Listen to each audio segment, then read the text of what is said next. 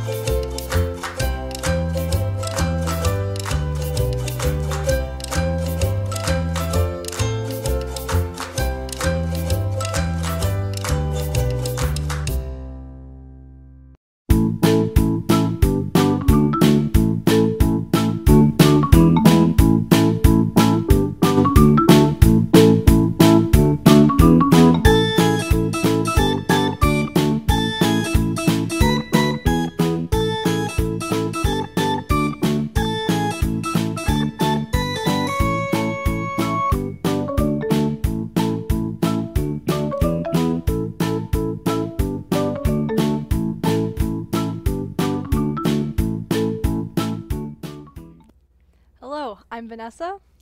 I'm Mackenzie. And I'm Cole. And welcome to the Couch Potato Lab, where we bring science to your own homes. Before we get too into it today, make sure to download our lab manual from bit.ly backslash couch potato lab and hang on for dear life.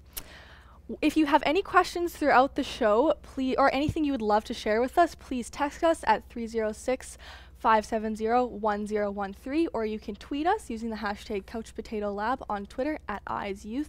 At EyesYouth is also our handle on Instagram, TikTok, Facebook, and here on YouTube. Um, so today is going to be quite the chilly episode, but first we need to introduce who we have here today. So who's on my left? All right, so my name is Mackenzie. My pronouns are she, her. And a fun fact about me today is that you might think that this is my first time going live today, but it's actually my fourth. So I started the day with a live interview, then we went live on Instagram, then live on Facebook, and now we're live here on YouTube. That's a lot of live shows. It is my favorite thing to do. I love it. Me too. My name is Vanessa. My pronouns are she and her. And a fun fact about me is that this past weekend on Sunday was the first time I ever made a homemade pizza, and it was delicious. Who's on my right? Hello, everybody. My name is Cole. My pronouns are he and him. And a fun fact about me is Vanessa does love pizza. But I love bagels, and it would make my my dream come true, my childhood dream come true, if today I was just able to finally eat a bagel on the today today's episode of the Couch Potato Lab. Usually they tell me no bagels, but I think I might have put a good enough word in that I might be able to get a bagel in today. So here's hoping. Now, before we start, we would like to acknowledge that we are filming the Couch Potato Lab on Treaty 4 territory, which is the traditional territory of the Nehiyawak, the Nekaway, the Nakota, the Lakota, Lakota, and the Dakota peoples. It's also the traditional homeland of the Métis Michif Nation. Thank you, Cole, and I sure hope that we can get you a bagel. But before that, I think you two are looking like you have a little bit too much pent up energy, so we can deal with that. Okay, huh. sure. Yeah, yeah. Here is time for an Eyes Classic boot camp. So I have oh three exercises for the two of you. Okay. Again, we have to do this again. Yeah, well, let's warm All up. right, let's do here it. we let's do go. it. Always. Okay. Our first exercise is jumping jacks. That's a classic. Jumping jacks. Yes. Okay. Okay, let's go in front. Let's sure, go let's in do Okay, it. I want everybody to see my form and Yeah. sh- Perfect. sh- I, to prove finally that I'm, my form on jumping jacks is much better than Mackenzie's. Yes. Okay. You prove your name as Swole Cole, Yes. as some would say. You got Okay. it. How many? Um, five. Five. We jumping jacks. five. Okay. Okay. Here we go. You ready? Go ahead. Yeah. Synchro. One. One, two, three, three, four, five. five. Perfect. Okay. That was really awesome. Are you two feeling like a little bit sweaty or Uh, yeah. tired? Getting there. Getting Now there. I'm getting Yep. hot. Okay. That's Mhm. for sure. Okay, I think Yeah. the next one, you might not know what this is off just off the top of your heads, but it's called jumping squats. Jumping squats. Do you know what squats. a squat is? Well, I know like a squat is kind of like this. Okay, and I this. I know a, a jump is like this. Yeah, so I think if we just put those two together, Okay. we Okay. squat and then we jump. Okay. How Great. many? Mm, three this time. Three. Three. Okay, 'Kay. here we go. Here we go. One, Two. two, three. Three. Nice. That was excellent. Perfect. Ooh, I'm feeling a little bit of a burn. Any uh, heavy breathing? Yes. Oh yeah, like Yeah. actually, A little Yeah. sweaty? starting to sweat. Well, that's okay. We Uh-oh. all, we all do it. Okay. do it. th- yeah, that's totally fine. If you want to sweat any more, our next exercise is burpees. Ooh. Okay. Okay. How okay. many? Um, maybe 50? 50? 50 burpees. Fine, I'll go easy on you. Five. Five. Five, Okay, okay, we can okay. do five. Here we go. How do we? We start down here, right? And then what do we do? Oh, put, you do a push up. you jump. Okay. That's two. I think we might just go Okay, to three. let's Three do is yeah, good. Three One is more, good. okay. I'll allow it Do I- this am I supposed to do a- Together we did six Okay. then. Yep. Okay. And then we're up. oh wow. Wow. Okay, small round of applause. Okay, thank you. Yeah. I'm dripping in I'm sweat. I'm sweaty and I'm lightheaded. Uh Uh-oh. well, at Wow. least we're we're warmed up. You're sweaty? Yeah, I'm sweaty. Okay. But Cool. I don't know, like I'm warm, I'm sweaty, but I'm not too hot. But that's because sweat is actually called evaporative cooling. Now, do we know a little bit about evaporative cooling in this in this lab? Um, not too much. I know evaporation is when a liquid goes to a gas, but that's about all I know. That's right. So evaporative cooling just combines that concept. So evaporative cooling is a reduction in temperature resulting from the evaporation from one substance. So we're going to be learning a lot about that today, but that is what is happening when you sweat. Perfect. Okay, if you get any questions throughout the show, feel free to text us at 306 570 1013, or you can tweet us using the hashtag CouchPotatoLab uh, at Eyes Youth on Twitter and also on Instagram, TikTok, Facebook, and here on YouTube. We have one quick question from Eli, which a- and he's asking, "What or who is Zeer, and why did you put that in the thumbnail?" And Eli, don't worry, we are going to answer that very soon for you. It's uh, coming a little bit later. We got to get into some things. So, keeping things cool, evaporative cooling. I feel like we've got ni- a nice base here. You know, Vanessa, I gotta say though, all of this working out, all of this talking about sweating, I've actually that those workouts they were really good, and they've they've built up a little bit of an appetite. I'm kind of hungry, and and I actually have a question for you, Vanessa. Okay. Do you know what, or what what would you guess would be the biggest advancement in food technology over the course of all of human history? Think of all of the different technologies that we've developed, all of the different food-related technologies we've developed as well. To you, what do you think the most important one is? I have to think about that hard because there's been a lot of food advancements in my lifetime, even and before that. Maybe pizza. That would have to be the biggest food advancement. Pizza. You just made pizza on the weekend. And it was so good. It's just, I got pizza on the brain, I guess. But Cole, am I right? So you're going with pizza, Vanessa. Okay, I mean Yes. that's pizza is very very important. As we know, it's it's one of the six food groups. I'm sure it's in there somewhere. It's got a lot of good stuff going on, but it's actually not what I was thinking of. Oh. The food technology advancement that I was thinking of is actually a little thing that we like to call refrigeration. Refrigeration. Vanessa, do you know what refrigeration might be used for? Why we might need that? Like in our house? Yeah, like in our in our house. Why would why would we uh, use refrigeration? I always put all my food in the fridge to keep it cold, but also so that it doesn't go bad. That's that- exactly right. okay. Yes. So the main reason that refrigeration was invented is not only to keep our food cold, but also to preserve our food. If you've ever noticed at home, if you leave some certain foods out for a long time, maybe bread or milk or fruits and vegetables, they start to go bad. They might get rotten, they might turn, turn smelly, and you definitely can't eat them anymore. Now, part of the reason that that is happening is because the temperature that those foods are sitting out at is it's too high. And that temperature allows tiny microorganisms bacteria and germs to grow on that food and start to eat away at it which we don't want because if they eat it we can't eat it. So we had to invent something over the course of human history so to keep our food a little bit cold. Now I, will give you an example here. I've got here um, and this is what are the chances? oh wow. A little bit of a bagel huh? Dream come true. Yeah nature's donut they call it. Now bread, uh, for example, is something that will go bad if you leave it out for too long. So if you've ever had like a, you buy a loaf of bread, you might notice that after a while, if you're keeping it outside in the on the counter or something like that, it might. Um, there two things might happen. It might get hard first of all. So like for for instance, this bread right here, I'll just. It's it's solid. It's like a oh it broke. It broke in half. Okay, it cracked in half. It's pretty solid. This was bread that we just had sitting out on the counter for a long period of time. Now, you can see how it cracked and how it's super, super solid because it wasn't refrigerated. And also, another thing that might happen eventually, um, if we give enough time, is the bread will start to grow some mold, okay?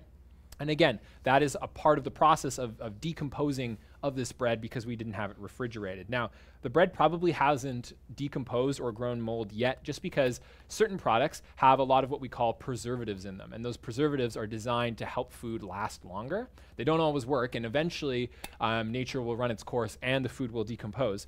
But um, if we were to take that piece of bread and instead keep it in the refrigerator like we did this bagel, um, delicious. still delicious. and you know why? Is because we had this bagel in the refrigerator, and it could be as just as old as that loaf of bread, but because it was kept at a cooler temperature, it didn't allow any of those microorganisms to grow and decompose the food.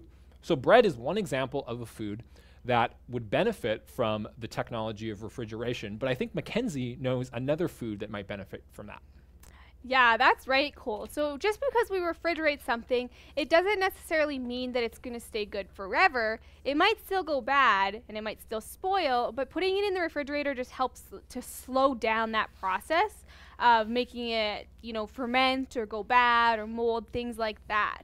Now, last night I was I was, you know, feeling pretty good. I had some energy left, and I thought, you know what, I should clean my room. And the main motivation behind cleaning my room was that it didn't smell great. Like every time I walked in, it just smelled funky. And I started cleaning, and I realized that last week I had a meeting in the morning, and I had my my cereal, I had my milk and my cereal, and uh, I accidentally forgot to throw my milk out oh and no. to bring my milk back upstairs and turns out something pretty funky happened there. Now, it turned into a solid and it definitely rotted, and that was disgusting.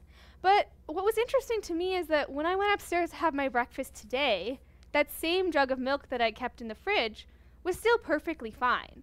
And that has to do with the refrigeration process. So, by put keeping that milk outside at room temperature um, in my room, it went bad. But by keeping it in that fridge, it kept it um, nice and cold and it slowed down that spoiling process so that it was still great for me to um, have this morning. So, same milk, but it was kept at two different temperatures, and that just has to do with food preservation.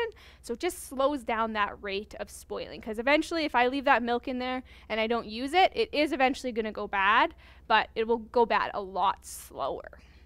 Wow, thank you, Mackenzie. That's really awesome, and I'm glad that you were able to still have milk left over and it didn't all go bad. Lots of refrigeration things going on. It's really excellent. Cole, do you have anything else? Well, I just want to add that there isn't just one type of refrigeration. Now, when we talk about refrigeration, you're probably thinking, well, I've got a big old fridge at home you might have in your kitchen, and it might have a freezer too, and that's a whole another deal. That keeps things at a much lower temperature. But um, there's actually lots of different types of refrigeration. We talked about refrigeration being one of the greatest technological advancements in food preservation, and it truly, truly is and it's across cultures, across different parts of the world. So up next, what we're going to do is we're going to look at a couple of different methods of refrigeration. So the, ref the, the refrigerator that you have in your house, maybe that you call a refrigerator, that's just one type of refrigerator. And it's one of the more modern ones actually and, and, really really fancy compared to some other ones but there's lots of other methods of refrigeration that work just as well and like i was saying these have been in, uh, invented all across the world through uh, a long period of time. Some were invented a long time ago, some were a lot more recent. And the first one is called a root cellar, and that's Mackenzie. She's going to talk about that. Yes, so root cellars, you can see them here on this screen. And um, they were used a lot um, quite a few years ago before what we know as a refrigerator was even invented. So the principles behind these refrigerators are the same. The main goal here was to keep the food cool and to keep it um, preserved so that we could, you know, at the end of the fall, we could harvest all of our food and that we could use it and it would last throughout that whole winter. So the way the root cellar works is typically they're in the ground or like in a basement or something, and they focus on two main things. So number one, we want to make sure that that cellar stays cool. We want it to stay nice and cool, not too cold and not too hot. And another thing is that we want it to be very humid, so we'll have really high humidity. We're going to touch on humidity a little bit later, but in the root cellar, the reason we want it to stay so humid is that means there's a lot of moisture in the air.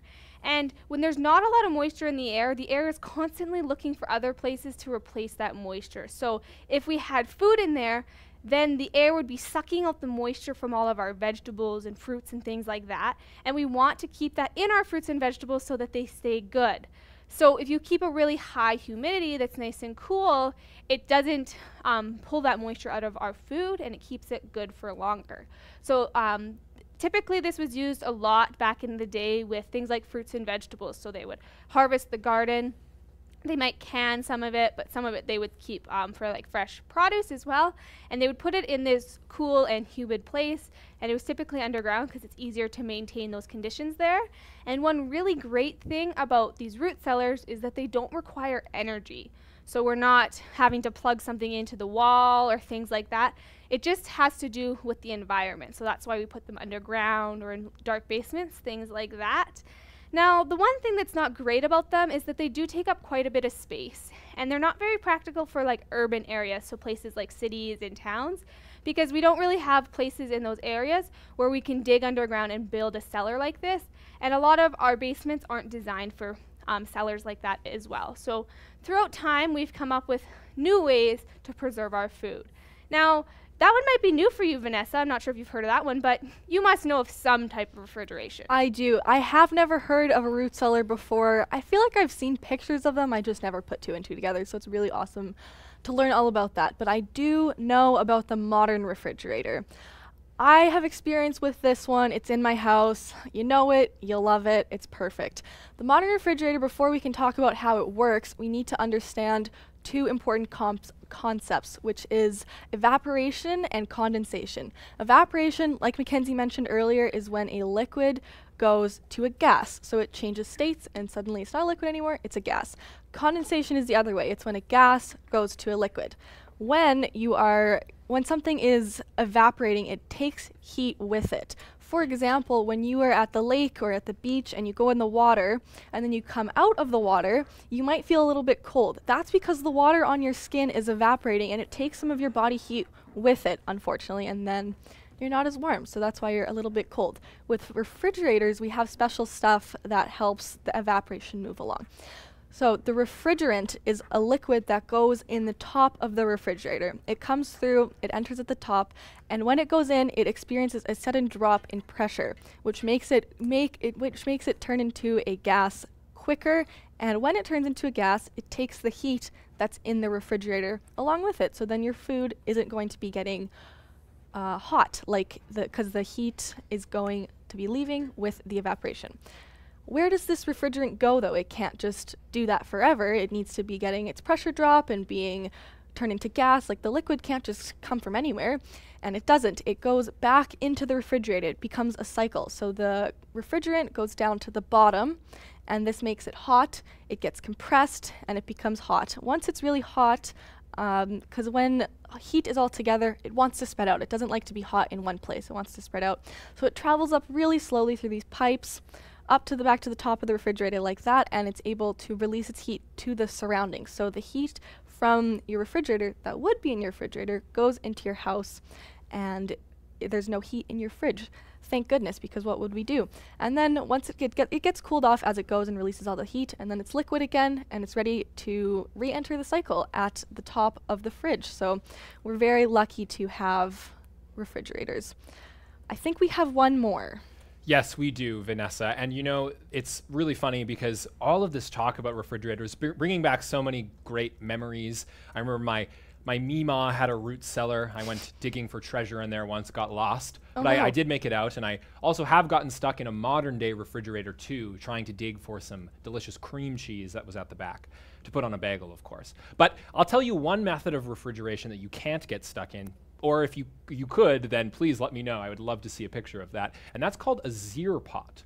Now, we had a question earlier about what, what's in the title of this episode, Hang On for Zeer Life. What the heck is a Zeer?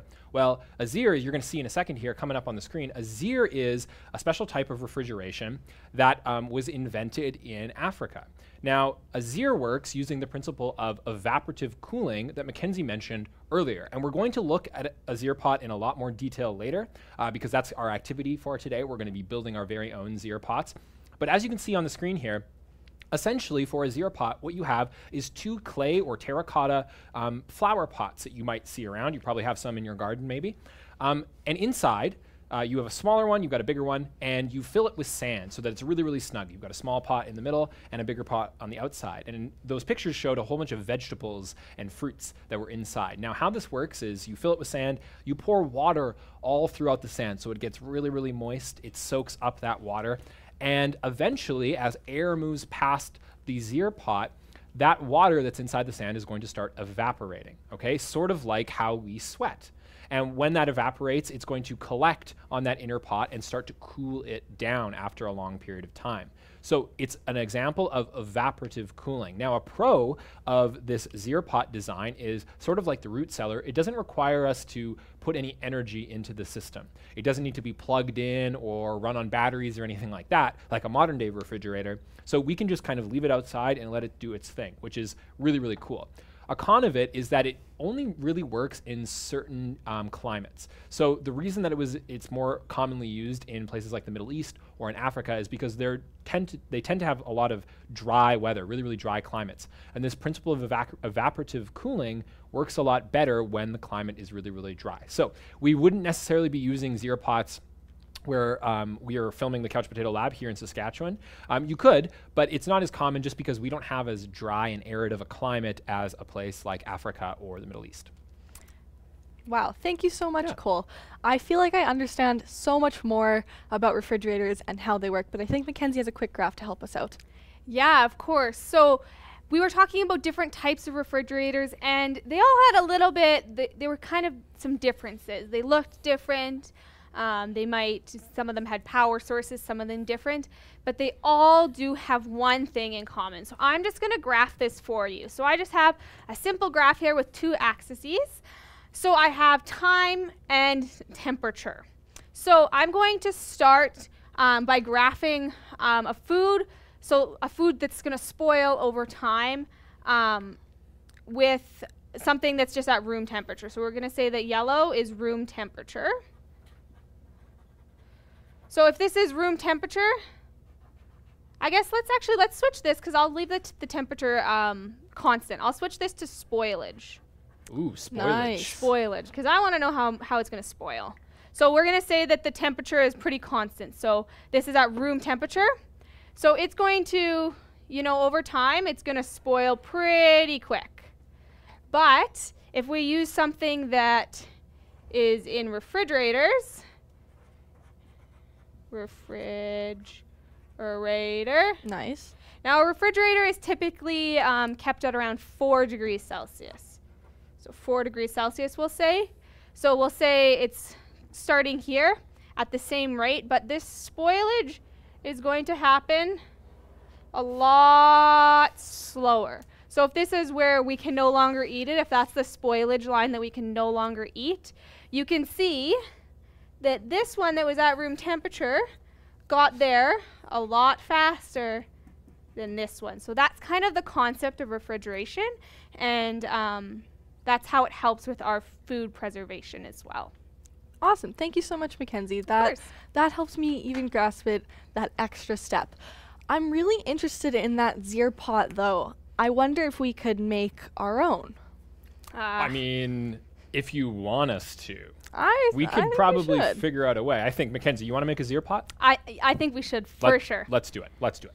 All right. So luckily, we just happen to have all of the materials with us today. What are the chances? So we're gonna start with two clay pots. So I have a bigger one here and then a smaller one here. So at the bottom we had little drainage holes, which is normal for these pots. So um, to get around that, we just put some duct tape or any type of tape on top to make sure that our sand doesn't um, sneak out through there.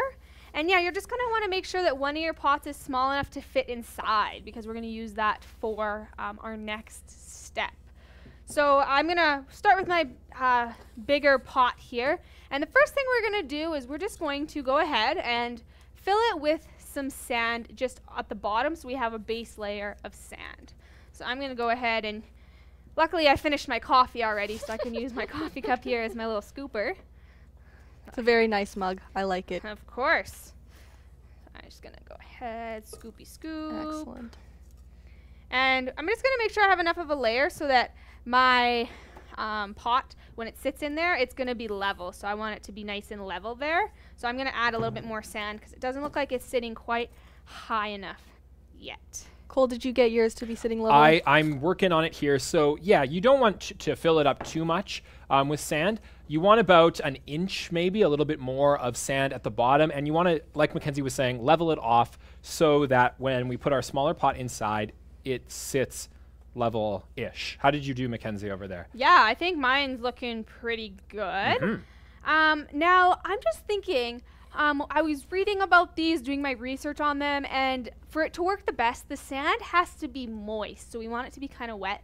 So I'm thinking that if I just add the water at the very end, then the sand at the bottom might not be wet enough, right? So I think what I'm going to do before I secure this pot um, in there really good, I think I'm going to add a little bit of water, just enough so it makes the sand wet, but not so it's like drowning in there. So just a teeny bit so that it's nice and uh, moist. So here we go. I'm gonna dump a little. Oh yeah, and you know the uh, the sand will absorb that. So that's what we're aiming for, making sure that we only add enough that the sand will absorb it. Kind of gives it the consistency of mud a little Oh, bit, Oh. yeah. which is nice. And this will actually help your um, smaller pot sit nicely inside. It'll kind of get stuck in there, Yeah. which will help it sit straight. Yes. Okay, so um, now that we've done that, I think I'm just gonna. What I'm gonna do next is this is gonna.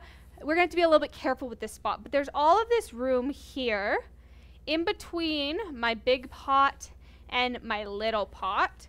So I'm gonna very carefully. I'm gonna fill that up with sand. So I'm just gonna go through and dump sand around there.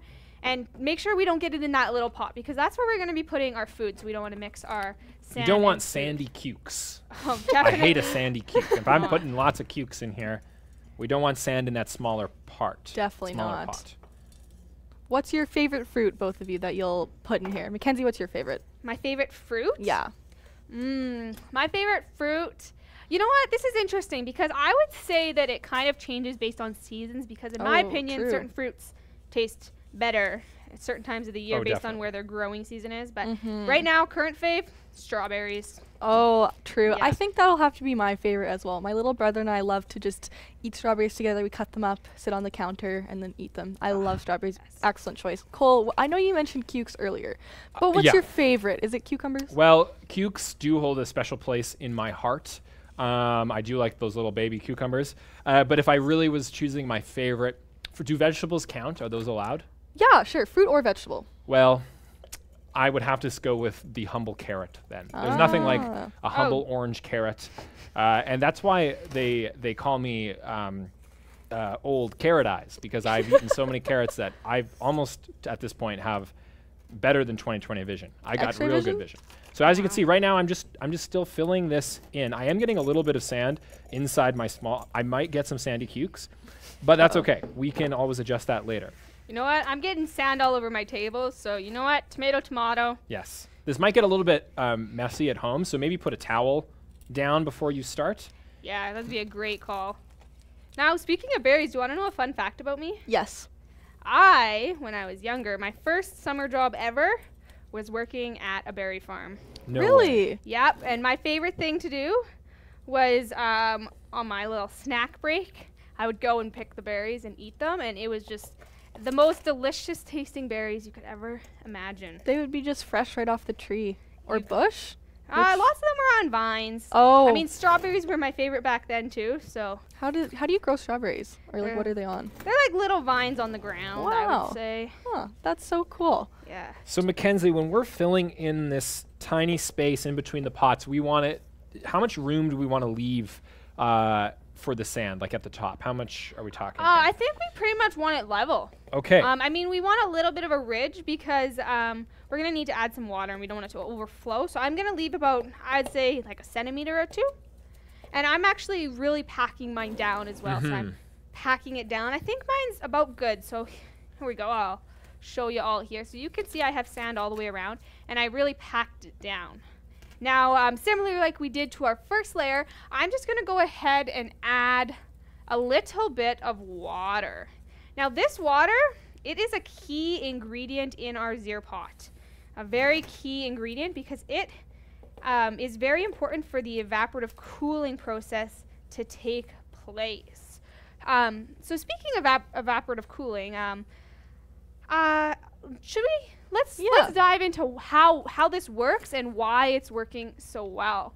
Um, so Cole's gonna perfect his design over I am. there. It might take a while. Uh, let's just say that it, it, if I put cucumbers in here, it might be more sand than cukes at Uh-oh. this point. So I'm, I'm going to have to perfect this, but that's okay. Mackenzie's going to give us a really good explanation of how these Zeer pots are actually going to work. All right. So um, we're going to pretend that this is our Zeer pot, um, kind of like cut in half. So if we're looking at from the top down, this is our Zeer pot. So this is our inside pot, this is our outside pot, and this will be our sand. So essentially what is happening here is, again, it's called evaporative cooling, and that's um, releasing temperature by evaporation. So we have that moist and wet sand in here. So the middle pot, um, the heat from it, so the hot air molecules, they're going to get pushed to the outside of the pot and get pushed into that sand. Now that sand, it's moist and wet. So then what's happening is we're going to have um, the H2O, there's going to be some diffusion within it, so the, it's going to be moving all around. And then as the sand warms up, that moisture from that sand is going to evaporate out and it's going to bring that heat out with it. So what we're left with is cool, uh, cooler portion in the middle and then the heat escaping from the outside. Now, in order for this to work, we need to keep our sand wet. So if you're going to use your Zeer long term, you're going to want to make sure that um, as soon as you see your sand kind of drying out, you're going to want to um, keep adding water so that it stays nice and cool. Now, if you look um, here at my Zeer pot, and I think Coles is going to be doing a similar thing. Yes. Um, the reason that we use clay pots is because they have little pores in them that allow the water to seep through and evaporate out. So it's going to be really important that we're using like a uh, clay or a terracotta pot. pot. Now, um, Vanessa, where did where did this idea come from? Where did these clay pots and the Zeer come from? Very excellent question, Mackenzie. While we adjust our Zeer pots and get everything perfect, we get to find out about where it came from, and the inventor is actually our STEM spotlight today. On today's STEM Spotlight, we want you to meet Mohammed Bah Abba. He invented the Zeer pot in the 1900s. He's a Nigerian teacher who comes from a pot making family. He utilized his knowledge of pots and science and was able to develop a refrigerator for people all across Nigeria and beyond. He helped decrease the rate of unemployment in Nigeria by employing people who needed jobs. These people were in charge of creating clay, forming pot, and creating the Zeer itself. What incredible work, Mohammed! Thank you! Thank goodness we have our Zeer pots. What would we do without them? If you have any questions throughout the show or would like to show us your Zeer pot, please feel free to text us at 306 570 1013 or tweet us using the hashtag CouchPotatoLab at EyesYouth on Twitter. At EyesYouth is also our handle on Instagram, Facebook, TikTok, and here on YouTube. All right, should we see our final products? Yes, we are almost. I've finally figured out um, my Zeer pot. So yeah, like Mackenzie was saying, we can see s- because of the tiny little pores in these clay pots. We've got some water that you can see at the bottom of the pot, and I've tried my best. Let's see if I can go like this. Uh, I've tried to level it out. As you can see, I did get a lot of sand. It happens. Tons, but that's okay. I've got um, some water in there. We got moisture, and Mackenzie, we've got these towels. What are we gonna do with these? Yeah, so we have these towels, and they're gonna kind of act as almost like our lid. So I'm actually going to um, put uh, some water on my towel so it's damp. So I'm gonna just, you know, pour some water on it. So Just I so mean, it's moist. We don't want it soaking, right? no, absolutely not.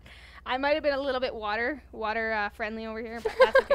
I'm just gonna soak it all up. I got a big towel here. Good thing we So- have that towel. Yeah, we're just keeping this towel moist again to help us with that evaporative cooling. And this is just gonna kind of act as a barrier, uh, sorry, a barrier from the outside. So when we put stuff in, we're just gonna drape that over our Zeer pot just to keep that cool air in and make sure that it's working as good as it can. Now, Cole, Mhm. yours is looking pretty good. How confident are you in it? I'm pretty confident. I'm so confident, actually. I'm gonna put a bagel inside there. Oh my goodness. Cool it down. For okay? tomorrow's breakfast. That's right. Keeping it cool. And I'm gonna put my my my moist towelette uh, over top of our Zeer pot. Is that? Am I doing this right, Mackenzie? This is how we want it, right? You got it. Yeah, yes. perfect. So our Zeer pot is ready for use. So we can go ahead and um, put some put some things in it, and maybe I would try. Um, if I was going to test this out, I think that my scientific opinion would be that I might maybe put something in there, and then I would put it out in the sun, and then in Mm. a couple hours I would see. You know, if um, the air outside feels warmer than the air inside my Zeer pot. And if it's cooler, then I guess we know that it worked. But Cole was mentioning before that Zeer pots, they don't work um, super efficiently in all environments. And we've talked a lot about evaporative cooling and how this works for our Zeer pots.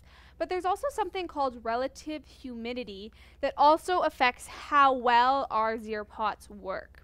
So relative humidity it's actually um, a measure of water vapor. So it's the amount of water vapor present, and it's expressed as a percentage usually. And it talks about the amount needed for saturation in the air. So very basically, it's talking about how much moisture is in the air for it to create a water droplet. So rather than it, the moisture existing in like a gas form, how much needs to exist in the air for it to exist as a liquid. So um, in Regina today, I looked on the weather report. I'm not sure if you were able to listen to that or not today, but the relative humidity outside in Regina today is 56%. And these percentages are very unique to each area, and they do change day to day, year to year, season to season. So typically, these Zeer pots work the absolute best at 0% humidity because, as I was talking about in that root cellar, when something it has a low humidity, it's constantly looking for areas that um, have moisture to take the moisture out and bring that into the air. So they're kind of like stealing the moisture there. So you can see that arrow there that's bringing the moisture out and evaporating it out. So um, typically these Zeer pots work best in really dry areas that have a very low humidity, so places like deserts or really hot places that are hot year round, like places like Africa and things like that. Now humidity, it's a little, it's used a lot and we keep our houses at a specific humidity so that they're comfortable for us. So um, one way to tell um, if your house is, has too much humidity um, is if you look, maybe if you're cooking or it's really hot outside, if you look on your windowsills and there's um, like liquid around your windowsills, that means that your house is very humid. So that might happen on a very hot summer day um, here in Regina. Or sometimes if you go outside and it's really humid outside, you can kind of feel like there's like moisture on your skin or maybe your hair will get really curly. So that's sign that we have high humidity. Now I did a little experiment here. So very simply, I just added some beaker in a cup. Now, if we zoom in really close here, we can actually see that there's water droplets that formed all the way around this beaker. Now, that's a good way to test to see if your humidity is too low. Because if the humidity were really low in this room, these water droplets wouldn't have formed as much. Because as the ice melts, because melting is a relatively slow process, that air would have escaped from the outside of here and it would have been absorbed by the um, air and atmosphere to try to make up for that dryness in the air. But because they formed as water droplets, we know that the humidity in here isn't too low and that we have a good humidity level. Excellent. Thank you, Mackenzie. And before we get into how we're going to test stuff, we have a quick question from the Hayes brothers. This is just for Cole. I think it's a nice, fun um, little science, quick science break. We can get a nice backstory on Cole. So, Mackenzie mentioned her first job at a berry farm. Cole, what was your first job? Wow, I I'm so glad that you asked, uh, Hayes Brothers. My first job, I worked at a restaurant. I was a dishwasher, and trust me, I was I was like a wizard back there, grabbing the hose, plates coming in. And you know what? It was quite the opposite of cooling back there. It got very, very hot in the kitchen um, because there was like lots of steam coming off from when I was washing the dishes and stuff like that. It was it was a, a quite the interesting experience. I actually uh, one time uh, uh, some of the cooks threw hash browns at me, What? and I don't know if that was a joke. Like they were saying, "Hey, you're one of us now. You you can join our crew," or if they were just throwing hash browns at me because they thought it was funny. But regardless, that was my first job. I, I was a dishwasher at a restaurant, not quite as glamorous as working on a berry farm. But you know what?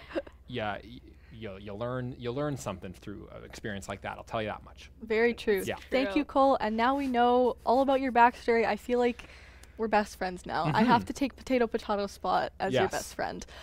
So Cole has a new, or n- very not a new, an Mhm. interesting way of showing us how we're gonna know what temperature things are, what might be going on. Some, Yes. Some special things that we get to learn from our friend that we know very well now, our friend Cole. What do we have? Well, so um, I've moved my Zeer pot out of the way. I'm letting that bagel chill, trying to get that sucker down to a nice, you know, minus two maybe. That's what I like to eat my bagel slightly frozen. All right. Um, so we've built these Zeer pots, and Mackenzie has talked about how they use evaporative cooling to cool things down. But how do we actually measure whether things are cold or whether things are hot? Well, we use something called temperature. Now, temperature you've probably heard of, but the actual definition of temperature is temperature is just the intensity of heat given to uh, on an object or um, on a substance. Okay, so we measure temperature in a few different ways. Here in Canada, where we're filming the Couch Potato Lab, and a lot of other countries across the world too, we use um, degrees Celsius. So I don't know, Mackenzie, did you notice what? Uh, what I don't think she did, did notice, but uh, when she was checking the humidity today on the weather report, she might have also um, noticed that there the temperature out. And I think it, I'm going to guess the temperature was probably 27 degrees Celsius today. It That's actually was when I looked. It's like 26, 27 right now. That's a really good guess. thanks, thanks. Not bad, hey? So, temperature is, we can measure it in Celsius, but in a place like the United States, they actually use um, Fahrenheit, which is, again, we're still me- measuring temperature, but we're just using a different scale to do so. Now, when we measure temperature, we use a device called a thermometer most often to actually measure that temperature. And really quickly, I'm going to teach you how, how you can build a really cool, simple thermometer at home. So what I have here is just um, an old plastic water bottle, and at the bottom I just have a little bit of water. Okay, so I poured, I think it's about a quarter cup of water in there. The next thing that we're going to do is we are going to add a quarter cup of rubbing alcohol. All right, so this is a really, really common um, thing that you might use to put on like cuts and stuff to disinfect. Uh, but we're going to put this ru- rubbing alcohol uh, about a quarter cup, okay, which I'm just eyeballing here is like that much, let's say, okay? And we're going to pour this into the water that's in our water bottle. Pour that in here. You'll notice that I have some green stuff on the top of this. You're going to see what that is later. Now, when we're using uh, rubbing alcohol, it's something that we do need to be careful of. We definitely don't want to get it um, in our eyes or in our mouth or anything like that. So we just have to be careful and maybe have an adult around while we're doing this as well. So inside uh, our water bottle, we have a mixture of water and rubbing alcohol. And you notice from where you are viewing at home, you probably can't tell the difference between what's the water and what's the rubbing alcohol because they're both colorless liquids, so they sort of mix together. But up close, I can kind of see there's some weird waves going on in there, and that's caused by the rubbing alcohol and the water actually not mixing together. But the next thing that we're going to do is we're going to add some food coloring. Now I'm using green because green is my favorite color, obviously. Uh, and you can use any color that you want at home. I'm going to add a few drops of green food coloring. And really what this does is, first of all, it makes it a heck of a lot more fun, but it also helps us see what's going on in our thermometer. So I'm adding a few drops. I'm going to take the cap, make sure it's on there snug and tight, and I'm just going to give it a little bit of a shake to mix that all up. And now we have this lovely green concoction inside of our water bottle. Okay. now comes the fun part. What you're going to do is from your mixture that you've created in here, you're just going to pour like a tiny, tiny bit out into a different container. I'm just going to use this measuring cup from before.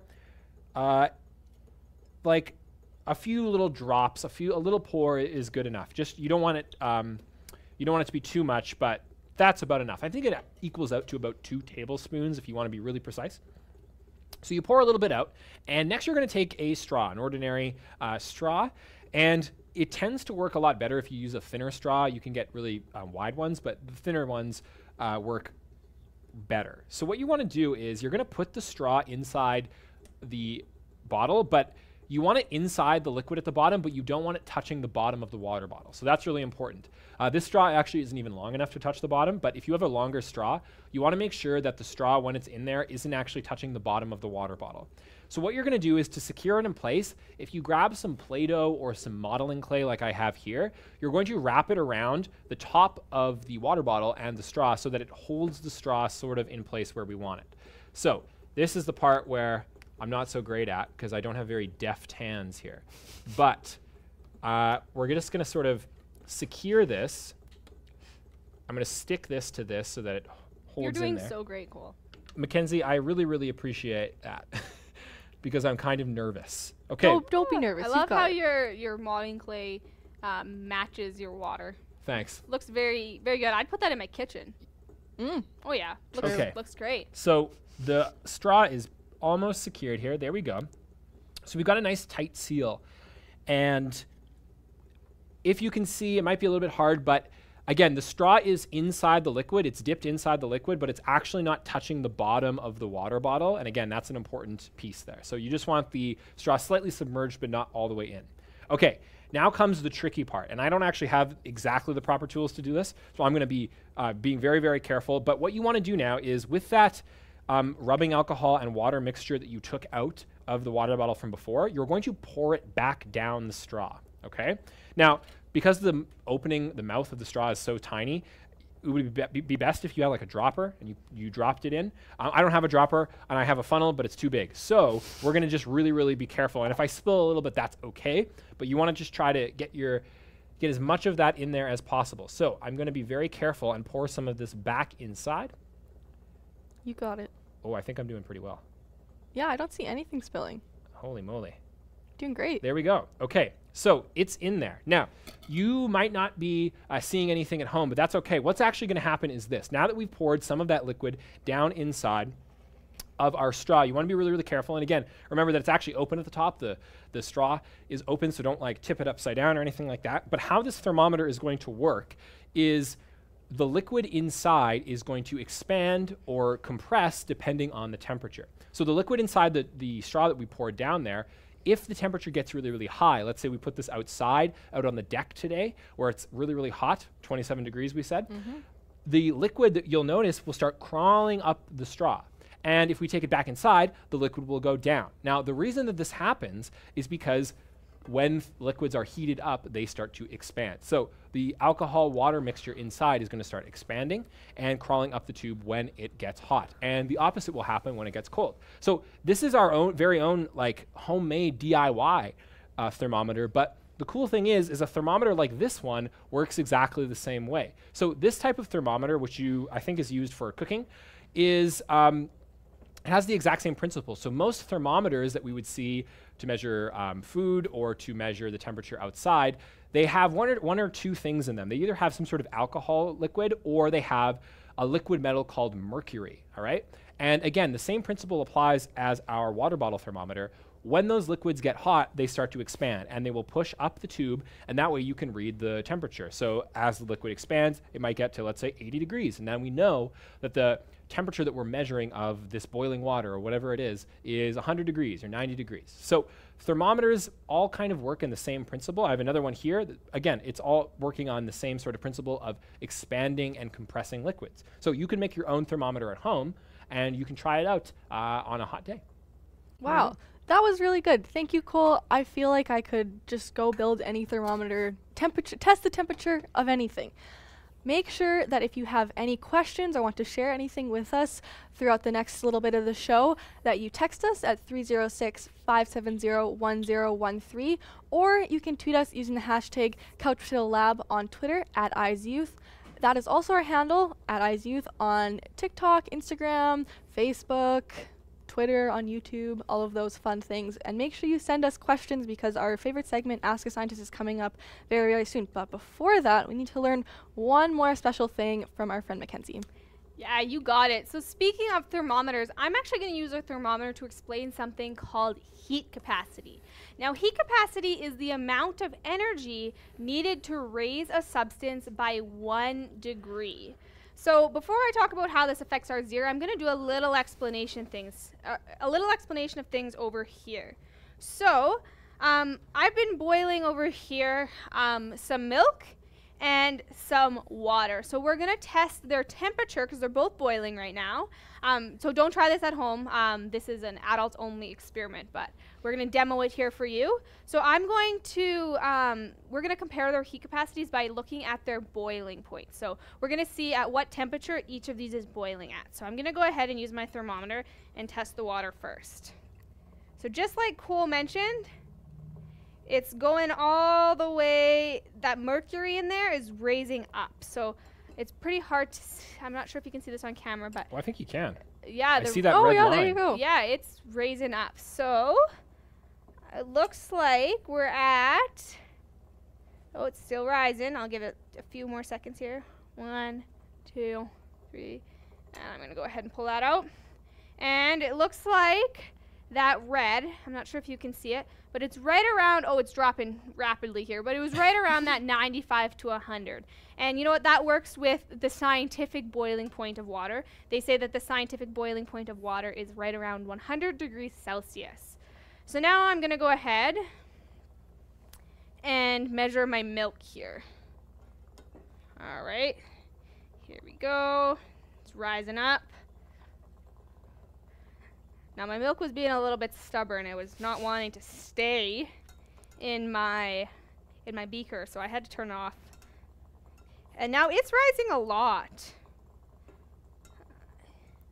Yeah, so this one looks like it's around like 150-ish. Whoa. So that means that um, it has a higher boiling point, and that has all to do with the heat capacity.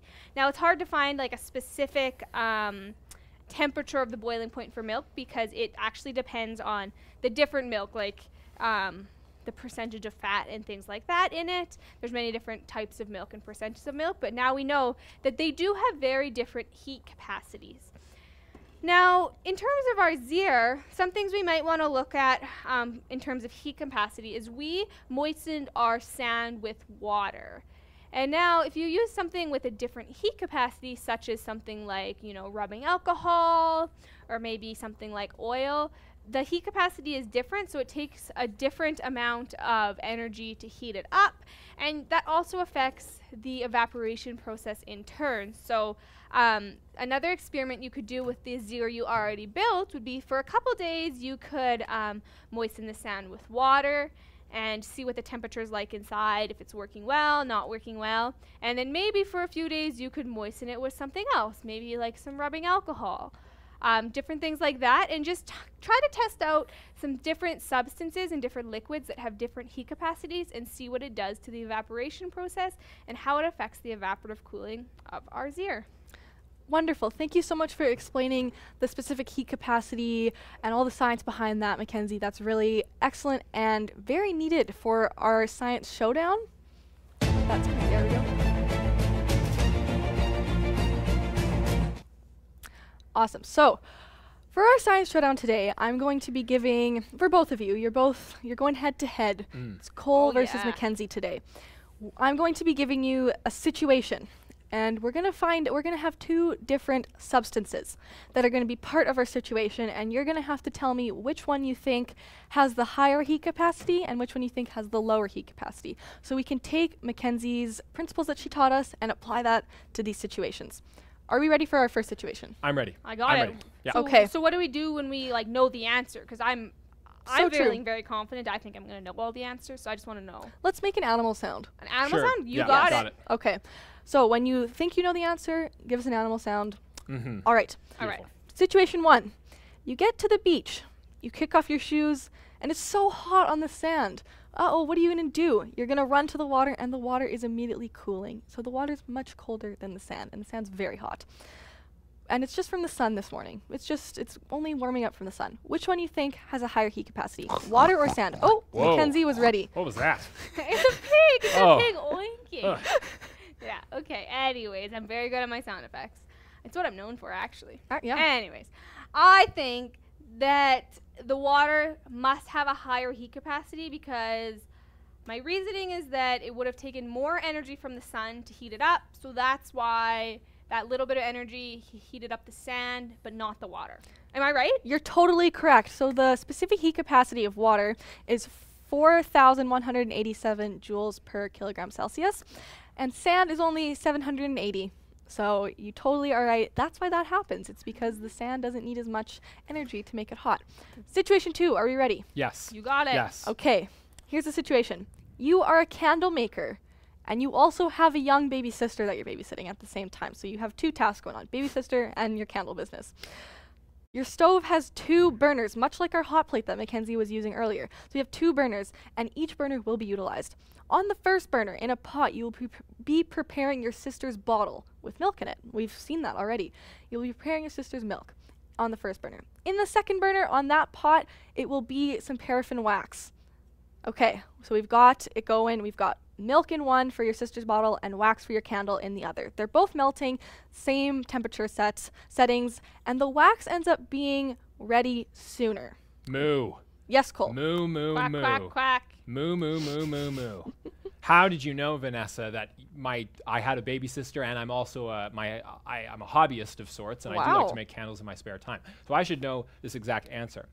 The answer to which between milk and wax has the higher heat capacity is milk. Yes, absolutely correct. That's totally awesome. Good job. Thank you. Milk's heat capacity is 3,930 joules per kilogram Celsius, and then wax is only, not only, it's still a lot, but 2,200. So good job. This is the tiebreaker. Situation Oh, boy. three Okay, here will we bring go. us home. I'm ready. Okay, situation three. You're planning to go on a hike with your family this weekend. You can't decide if you want to bring your plastic water bottle or your glass water bottle along. You don't know which one.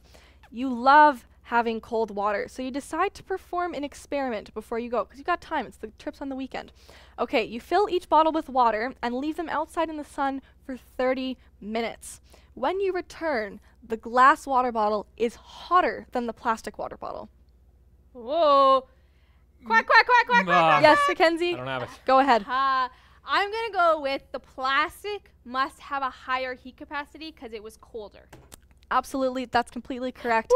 She's I brilliant. win, She's win. brilliant. Mackenzie wins. You get a special prize of What is it? y- yeah. You're just Mackenzie, doing I will give you a prize. a bagel? I will, give you the bagel that I've been cooling. oh, my good idea, Yes. Cole. I didn't think of a surprise for Mackenzie earlier, but I know that Cole's got my back. So now it's time for our favorite segment after that amazing science showdown of Ask Our Scientist.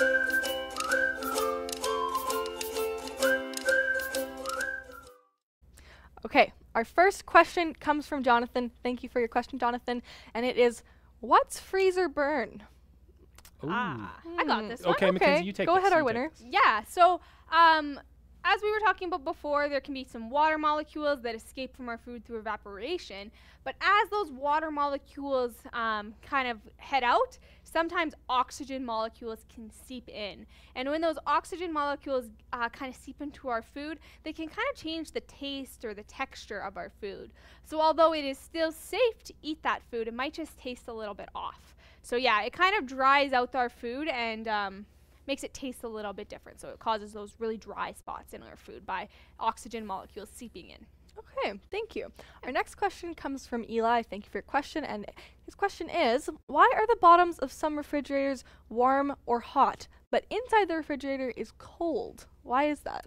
Well, Eli, Thank you for the lovely question. Now, Vanessa was talking earlier about how these modern refrigerators work. And one of the things that she mentioned is inside there's this chemical, this substance called a refrigerant. All right, and that is the that is the real workhorse of the refrigerator that's doing all of the cooling. So if you've ever um, put your hand, I know I lose things underneath the refrigerator all the time, and when I try to put my scrawny little arm uh, underneath there to grab, uh, I don't know, I like to play with buttons and things like that. Uh, I can never get them, but one thing I do notice is it's very very warm down there, and so you're right. You you might feel some warmth underneath underneath the refrigerator. Now, the reason that is, is because underneath the refrigerator, what you are putting your hand near when you feel that warmth is something called the condenser coil.